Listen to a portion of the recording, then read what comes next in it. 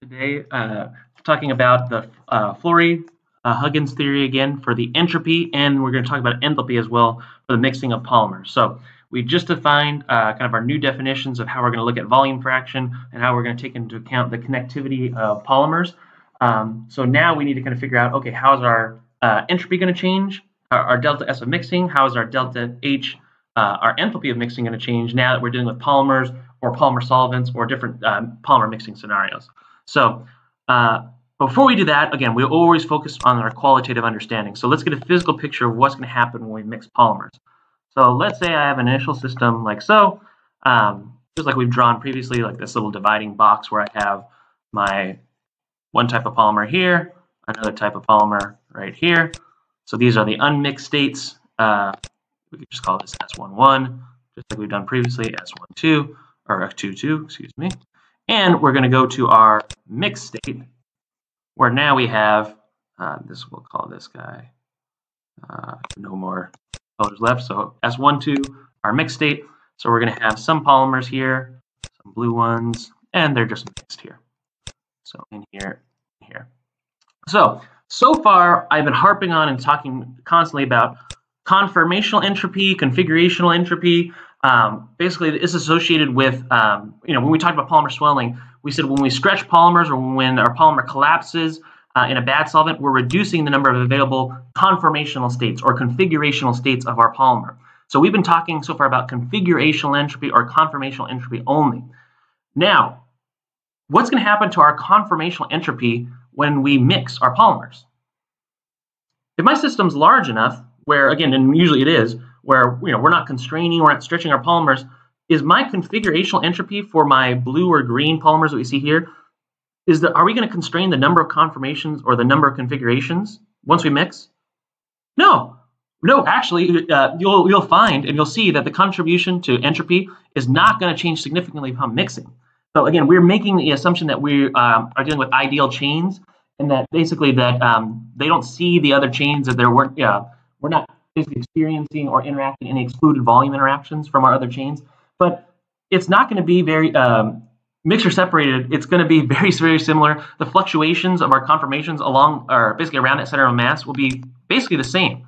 As long as, again, our box isn't constrained, you know, if we're not perturbing the polymer and if the polymer is not being impinged uh, by, uh, basically, if the blue polymer is not overlapping, and we're going to talk about um, high molecular weights, we're going to talk about like entanglements, physical entanglements, chemical uh, entanglements, cross-linking later on. But if we're just looking at mixing polymers in an ideal solution without high concentrations, that's a good, uh, that's a very, very valid uh, and safe assumption to make. So we are not going to have to worry about the delta S of conformation or configurational entropy. So what other entropy um, is basically changing when we mix these polymers? Well, the entropy is the translational entropy. Now, basically what it's saying is that uh, this center of mass here, for this polymer, I can access more states translationally. Um, so I can translate, so let's say that this polymer, I'm going to do this as my star polymer. So this is my center mass for this starred polymer. That polymer can translate to the center mass here, for example. Let's say it moved to that direction. That's one conformation. In the mixed state, it could be here, here, here, here. There's lots of different translational um, entropic states or different microstates where the polymer can exist and translate. So it will move, it will translate some distance. That center of mass will move and translate. And that's going to open up a number of different microstates. So again, that's going to be the driving force for mixing. As we mix, our conformational entropy doesn't change, but our translational entropy right here is going to increase in our S12 state. So the entire chain can access more microstates. So that's kind of the big, big, big uh, fundamental idea when we're talking about what's the driving force for mixing in our polymer system. It is the increase in, again, delta S mixing will still always push for, um, for mixing, but uh, it is going to be the translational entropy, not like the conf configurational or conformational uh, entropy that we talked about for the Bragg-Williams in terms of just for molecules. So again, translation of the center of the mass, um, and basically, you could treat the entire polymer as a small molecule that it's translating, it's moving. So um, that's kind of the key idea when we talk about the delta S mixing. Um, so the what follows from that is that the change in entropy doesn't de uh, depends only on the number of polymers, right? Because when we look there, if I'm moving monomers, that's not changing my configurational entropy. I need to move the entire center of mass of that polymer. If I need this polymer move, you know, to translate some distance either here or here or here or here. So I don't really care about, uh, it's not going to, my change in entropy is not going to depend on the number of monomers, just like it was for Bragg-Williams, right? It is going to depend on the total number of uh, polymer molecules. So we should expect, and we'll kind of see if the math, again, matches our intuition, but we should expect, um, because, and, and just remember, volume fraction is defined by the number of monomers. We should expect that our entropy of mixing term, because previously our volume fraction, our entropy was purely just, uh, um, our entropy was purely a function of the volume fraction. So the volume fraction is defined as the total number of monomers. Um, but our entropy should scale with the number uh, of polymers. So we should expect that our entropy mixing term should decrease by this factor of 1 over x, which is the degree of polymerization. Um, so let's see if that uh, let's see if that holds true, and let's see what's the implication uh, of that happening. So let's go ahead and now you could read in, a uh, in kind of uh, a text, uh, the, actually the recommended text for this class, uh, that goes through the full Flory derivation for the delta S of mixing for polymers. It is very, very, very complicated. So he explicitly counted the number of conformations of monomers on a lattice site. He assumed restrictions based on the previous. He basically is doing a self-avoiding random walk, um, effectively. Um, if you want to look through that, if you want to talk about that derivation, I'd be happy to do so, um, basically offline or online on Zoom. But we are going to focus on a much simpler derivation, which is developed by Hildebrand, which, again, remember our equation for Hildebrand, for chi.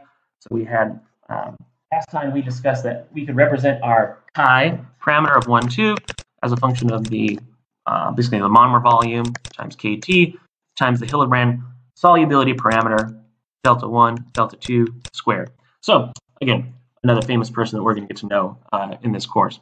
So Hildebrand assumed that polymers are completely ideal, and thus you could equate or calculate the entropy of any given state as the entropy of an ideal gas.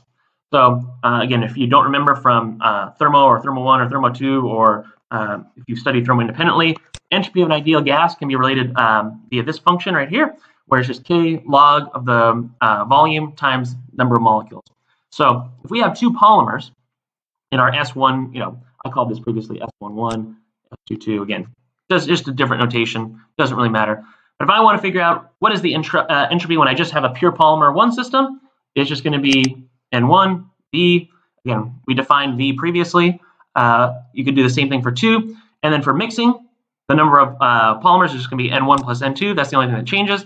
The volume here is just going to be the sum of those volumes. So when I want to look at my change in my entropy of mixing, so again, you could call this delta S, want to be consistent with our previous notation, delta S mix minus S11 minus S2. Uh, but again, same thing. We just plug and chug into this equation, and we are going to find uh, a really nice relationship right here. So remember that Phi1 was equal to, uh, we defined it previously as N1 x1 divided by N1 x1 plus 2 x2, assuming again that, as we see here, our V1, V2, our monomer units are effectively the same, this V naught value. So we can see here, we can rewrite this kind of nasty looking expression in terms of Phi1. So this is just Phi1 divided by x1. So this is our expression, the molar uh, delta S of mixing term. So you see, let's look back to our old friend, our nice, simple friend. Uh, although it wasn't simple the first time we derived it, but now you're all experts at Bragg-Williams. This is our expression for Bragg-Williams. It's effectively, when we were talking about just the, the, trans, the configurational entropy or the translational entropy of putting molecules, right? So just arranging our number of unconnected monomers. But we said for polymers, monomers are connected. So if monomers are connected, we saw that the translational entropy or the, the entropy that's gained upon mixing is translational. So it depends not on the number of monomer units, but on the number of polymers. So we should have expected that our delta S of mixing should change by this factor of 1 over r degree of polymerization x. And if you see, and if you look back at the expression that we just derived, it is exactly the same as our previous expression for Bragg-Williams, but just divided by 1 over x1, 1 over x2. That's it. So it's a beautiful expression. Again, think about what happened here. we went from dealing with small molecules, gases, and we just changed, we, we included some new no, uh, notation. We assumed that these uh, materials were ideal connected polymers. We didn't consider anything about bond angles or basically crossover points or two monomers occupying the same site. We just treated it as ideal gases, and we obtain this expression that is very, very simple, very, very general for the ent entropy of mixing change, uh, uh, the entropy of mixing upon mixing uh, essentially polymers or polymer solvents or different solutions. So very, very uh, kind of a beautiful derivation. And you can kind of start to see, and we're going to talk about this a little bit more next time. I plotted, this is the, uh, this is the free energy, uh, I've, uh, not the free energy, excuse me, the Flory-Huggins entropy of mixing. So it's just a term that we kind of have dealt with previously here. Um, so I plotted se several different scenarios. So when I set my x1 and x2, my degree of polymerizations to 1, what's happening here physically? I'm basically dealing with a gas and molecules again, right? But, and you can see my curve looks exactly the same, and it, it, it is exactly the same as our Bragg-Williams theory. So that's a good check. But what happens when I change my degree of polymerization so that I'm looking at X1 is my solvent, and uh, basically it's just gas molecules, or again, solvent, organic molecules. Um, doesn't have to be organic, but anyways. Um, if I mix it with a polymer, the degree of polymerization of 1,000, look at this red curve. I'm still positive. My delta S mixing always um, is always positive. It always pushes for mixing. But you can see now I'm no longer kind of symmetric here. It's saying here, if I plot it as a function of phi 2, uh, again, that's what we're, I've rewritten, rewritten this equation. And phi 2 is related to x2. So my phi 2 is my polymer. Uh, if I set my x2 to this, you know, 100, 100,000 degree polymerization. So what this is saying is that my entropy is maximized when my phi 2, when my solution is mostly uh, polymers. So again, we get this shift now. Our entropy is no longer symmetric. Um, so we maximize our entropy at different kind of um, uh, kind of scenarios here. So the system is primarily composed of polymers here. So when my system is mostly, my volume fraction is more polymers, I have a higher number of entropy, uh, entropic states. I have a, no, a, larger, a larger number of microstates upon mixing because the solvent can occupy different spaces. But again, either way, our curve here is no longer symmetric. And this is going to be very important when we talk about phase diagrams later. If I just mix two small polymers, two oligomers, you see my delta S of mixing, it decreases, right? because as x1 and x2 decreases, my driving force for mixing is become more, it's basically more, um, there's less of a driving force because again, we're dividing by these degree of polymerization. And there's less of a driving force because unlike with small molecules where there's lots of number of microstates, our microstates are kind of restricted by our number of polymers. They have some volume where, again, they can only translate into so many different configurations. When I have small molecules, there's so many different number of microstates, so many different lattice points that I could occupy.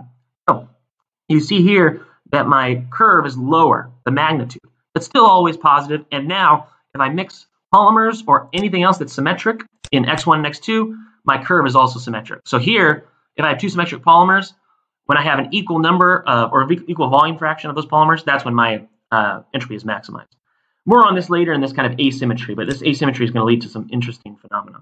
So, uh, right here, we use this assumption. Again, terms scaled as we expected. So, are you ready for the enthalpy of mixing derivation? Really tough. Don't. Uh, so, actually, it's really uh, trivial and easy, thankfully, uh, because that other derivation was not, um, even though it was nice and uh, really straightforward, or not straightforward, but um, it's beautiful in its uh, kind of the assumptions and simplicity. It's not that easy.